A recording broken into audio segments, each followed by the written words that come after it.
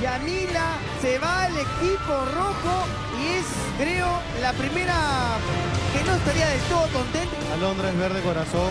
La Chena entró diciendo que quería a Mario Iribarren como capitán. Así que elijo Alondra Guerrero.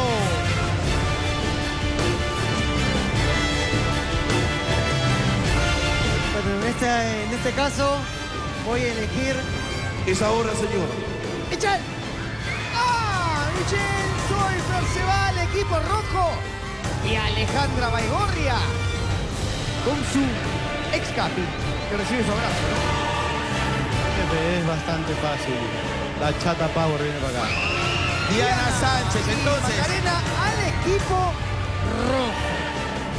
Los equipos ya están formados.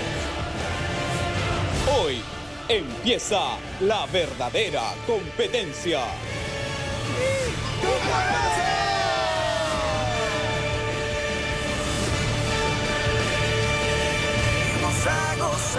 Muy, pero muy buenas tardes. Empezamos con combate, porque combate es... Matán,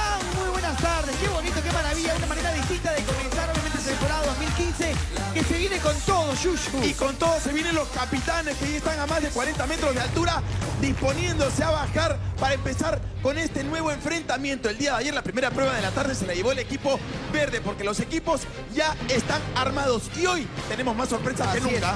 Además, si ustedes creen que hoy va a ser un día común y corriente, un día en el que no va a pasar nada, pues se equivocan. Porque muy por el contrario, el día de hoy tenemos grandes sorpresas. Comienza el descenso entonces de los capitanes. Y también vamos a escuchar porque el jefe tiene algo muy importante que decirles. Buenas tardes, señores. Buenas tardes, jefe. En unos instantes, solamente en unos instantes, les voy a comentar algo que los dejará con la boca abierta, señores, así como lo escuchan. Comienza el descenso de los capitanes entonces. Para de esta manera comenzar un día más de competencia aquí en combate. ¿Por qué combate? Es Bacán. Recordemos que el día de ayer el equipo verde ganó la primera prueba de la tarde. Vamos a ver qué es lo que, para, eh, qué es lo que pasa el día de hoy. Acá esperaremos a que los capitanes bajen para entrar luego con ellos al estudio. Mario, ¿cómo va Mario la cosa por arriba? Tío, tíralo para allá. Mario, Mario Iribarren tal vez es uno de los más nerviosos. Eh, lo vemos a Mario Hart más calladito o tal vez otra manera de enfrentar el miedo, ¿no? Tres horas arriba. Señor director, por favor, Señor, suba la grúa de nuevo, suba señor de la grúa, vaya para arriba de nuevo. ¿Usted creía que iban a bajar tan rápido? No, se esperan un ratito más. ¡Arriba la grúa! ¡Arriba las bolas! Arriba, como cuando uno está asustado, arriba las bolas. ¡Arriba la bola! ¿En serio? ¿En serio da En serio, yo sé que da miedo, por eso lo estamos haciendo un poquito más... ustedes. Ya, este, señor de la grúa, ahora tirabuzón. No. No, mentira, no, no, no. Oh, pero, ¿sabes qué Bueno, pasa? Es Mientras ellos. Oye, mientras ellos carro, Mario, siguen subiendo, carro. nosotros nos vamos al estudio obviamente para saludar a toda la gente que se encuentra allá. Adentro, el público que está esperando ya ver más competencia. Ya están todos los chicos, ya los dos equipos formados, tanto el equipo rojo como el equipo verde. Muy buenas tardes a toda la familia del Perú y a todos quienes ya se encuentran dispuestos a disfrutar de un programa más de combate. Y agradecemos como siempre al público que está desde el primer día siguiendo absolutamente todas las incidencias de lo que sucede acá en este estudio. El Perú paralizado, toda la familia, todas las ciudades dispuestos a ver qué es lo que va a suceder el día de hoy aquí en Así combate. es, vemos los dos equipos. Bueno, creo que cada uno tiene sus diferentes fortalezas, pero ya lo vamos a ver en competencia, como lo dijo Renzo. El día de ayer, la primera competencia, no sé si es un tema de, de, de- de cábala o lo que sea, pero la primera competencia fue para el equipo verde. Vamos a ver cómo responde el equipo rojo el día de hoy, pero lo más importante es que el jefe tiene un importante comunicado. Jefe, nuevamente buenas tardes, lo escuchamos. Bueno, señores, señores combatientes, señoritas, les pido que presten mucha atención y mastiquen cada palabra que voy a mencionar. Si ustedes pensaron que las sorpresas habían terminado, les comento, les comunico que se equivocaron totalmente.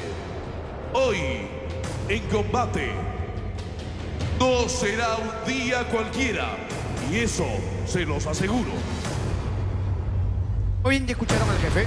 Vamos a ver entonces qué es lo que va a pasar más adelante. ¿Cuál será la sorpresa que irá a suceder? Pero antes, tengo que ir rápidamente acá al lado izquierdo. Así es. Vamos a ver una algo- imagen primero de los dos capitanes que ya se encuentran todavía en la parte superior.